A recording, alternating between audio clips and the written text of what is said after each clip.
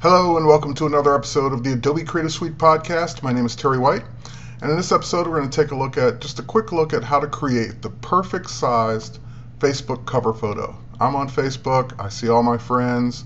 Sometimes they have a great cover photo, sometimes they don't, and it's usually because the cover photo they picked was a standard photo that either they upload it with their mobile device eh, or they just put it in there and they didn't really get it to be the right size, so it just doesn't look right. So I'm going to show you how to create the perfect one using Photoshop CS6, but you should be able to do this with any version of Photoshop, uh, just following the same or similar steps. So let's take a look.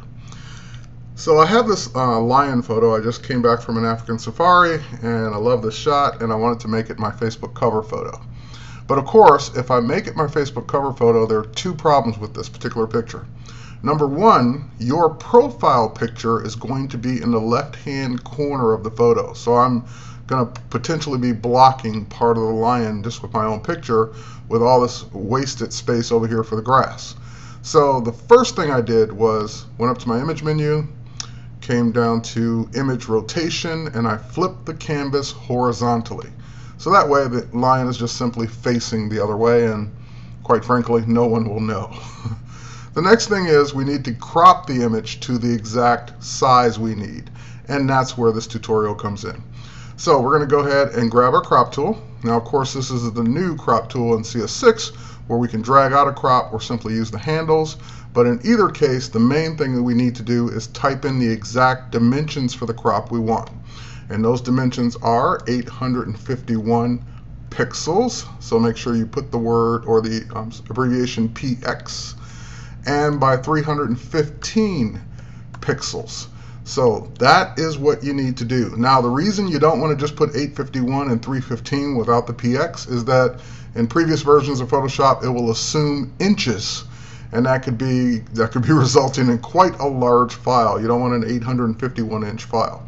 So that's why we put the PX in there by PX so that it knows we're talking pixels. Now we can still move the image around in the cropped area just to get it perfect the way we want. So I'm going to bring the nose up to the top of the crop just a little bit more. And then once we're satisfied with the way the crop looks, we'll go ahead and click OK. Now, of course, that made the image smaller because I was working with a high-res file. But when we go up to 100%, that means that this image is now, first of all, being viewed at 100% of its size, and we're looking at 851 pixels by 315. So this is exactly how it will look on your Facebook profile page. And also know that your profile picture will be over here in the lower left corner. And again, I'm not blocking anything when I do this. Now the last thing we need to do is get this saved out for a web file. That'll be nice and fast to load. So we'll do a file, save for web. And when we do that, again, we don't have to change anything here in the image size because it should be identically the size we need. It should be exactly what we want. The only thing you're going to toy with is whether or not you want JPEG medium quality or JPEG high quality. Now when I do high, it brings up the image size to 112K, which of course is going to take longer to load, versus medium. So what you'll have to do is look at your image when you you know do both of these changes because when I switch it to medium, it will go ahead and render that image on screen and show me exactly the way it's going to look versus if I do low versus if I do high. So you have to decide is the size that it's going to increase the file worth the quality difference that you're going to see. And quite frankly, going down to medium, I can't see any difference with my eyes whatsoever.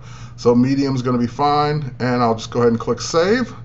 We'll put this out to a location where we'll know where it is. So I'll save it to the desktop, and I'll call it uh, TW Lion Facebook Cover. So that way I know exactly which file it is when I save it out there. We'll save it and then we'll head over to the web where I've already uploaded it using the change cover feature and that's how it looks on my profile. So again, my profile picks in the lower left hand corner here and the lion picture looks just right, just the right size. Uh, upload it to Facebook and I even put my little logo on it in Photoshop as well. So that's how you create the perfect Facebook photo sized picture using Photoshop CS6 or previous versions of Photoshop should also work, including Photoshop Elements. But the main thing is the 851 pixels wide by 350 by 315 pixels high. Thanks again for watching. My name is Terry White. Enjoy your Facebook cover photos that are perfectly the right size. Take care.